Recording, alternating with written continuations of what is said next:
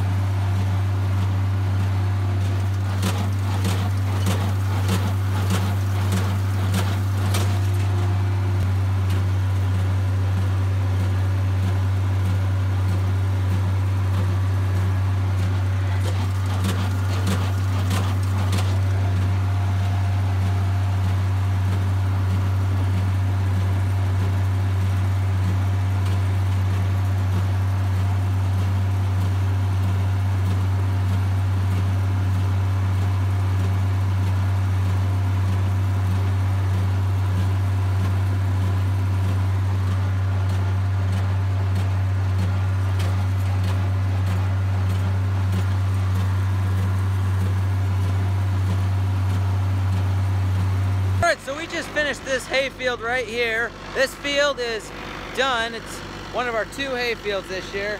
And uh, this tractor, it wouldn't have been, this tractor wouldn't have gotten done. And that baler. So we had three racks off this field, well, two and a half, sort of. Well, two and three, quar three fourths. Uh, something like that. And uh, so we're gonna get these hay racks back and put them inside just so in case there's a surprise rain shower, it doesn't hit them. It was supposed to rain today, here on Sunday, but it didn't rain. It was sunny today. We got start. We got a late start, but that was really nice because it wasn't as hot, and uh, and well, it worked out. So yeah, so the, we're done with this field. I'm gonna take. I'm gonna run that tractor back home because we live a little ways away, down one road, down another road, and then we're home. So yeah, let's. Uh, that's good. That's field one done for second hay cutting of 2020.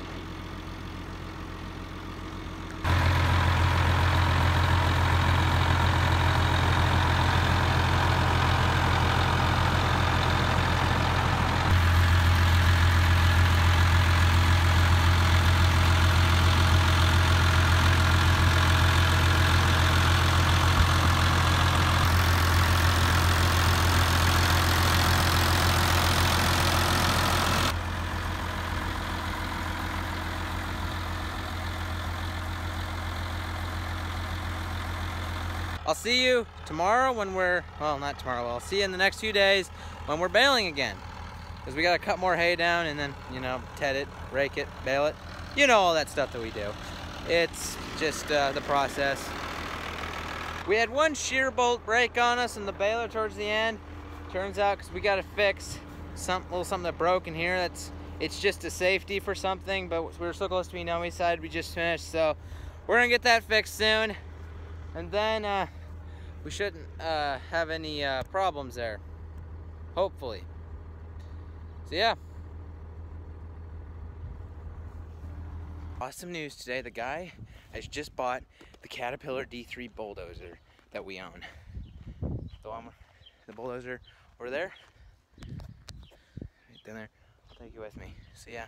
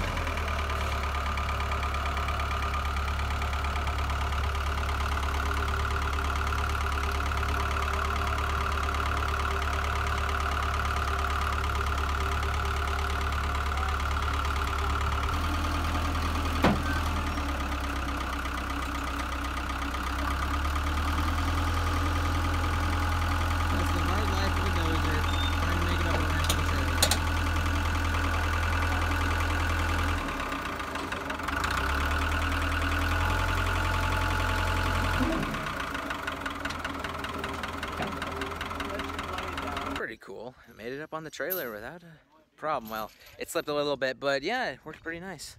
So we are here baling the second hayfield. Um, we had uh, some pretty hot and humid days and the hay wouldn't dry out completely. So we got a good day that isn't humid and uh, we're baling. As you can tell, I have a different tractor, so uh, yeah. Okay, so I gotta make this turn here.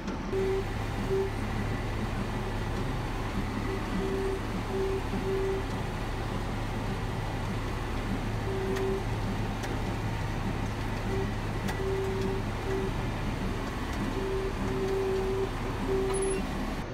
right, well, we are still baling here.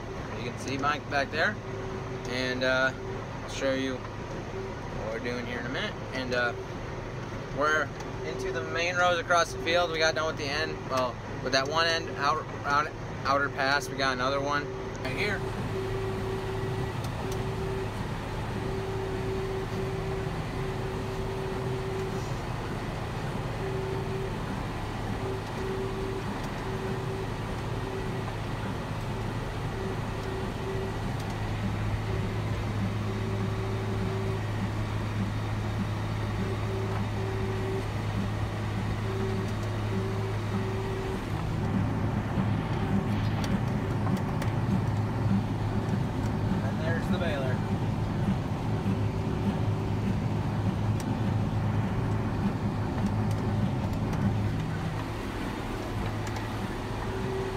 back.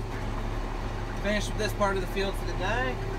And now, it is time to uh, go unload all the hay racks. So tomorrow and the next few days, we can get the big part of the field done. So yeah. And over here, we're swathing oats. It's looking good. But, yeah. So yeah, there are the hay racks up there. Just keep going.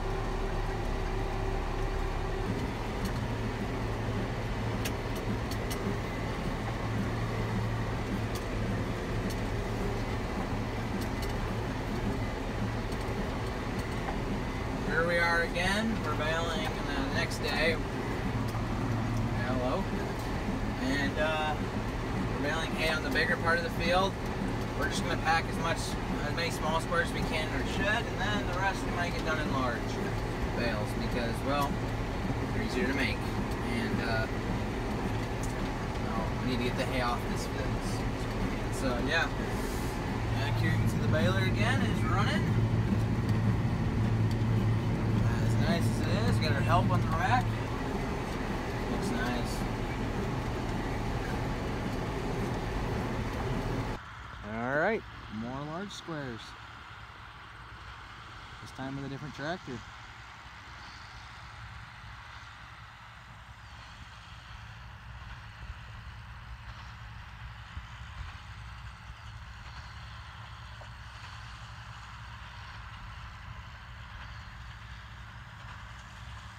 Look silly.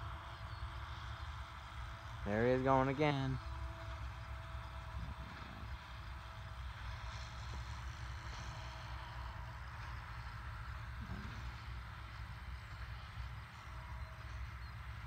It's a John Deere 8320.